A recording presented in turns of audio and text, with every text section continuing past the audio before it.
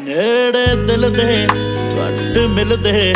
ਲੋਕ ਸੁਣਿਆ ਤਾਈਓ ਕਦਰ ਕਰਾਂ। ਕਦੀ ਤਾਂ ਆਵੇਂਗਾ, ਸਮਝ ਜਾਵੇਂਗਾ, ਗਲ ਲਾਵੇਂਗਾ, ਤਾਈਓ ਸਬਰ ਕਰਾਂ। ਤੇਰੇ ਵਰਗੀ ਤੂੰ ਏ ਆਖਦਾ, ਦੁਨੀਆ ਬਥੇਰੀ ਫਿਰਦੀ। ਓ ਤੇਰੇ ਜਈਏ, ਪਰ ਤੂੰ ਨਹੀਂ ਤਾਈਓ ਤੇਰੇ ਮਗਰ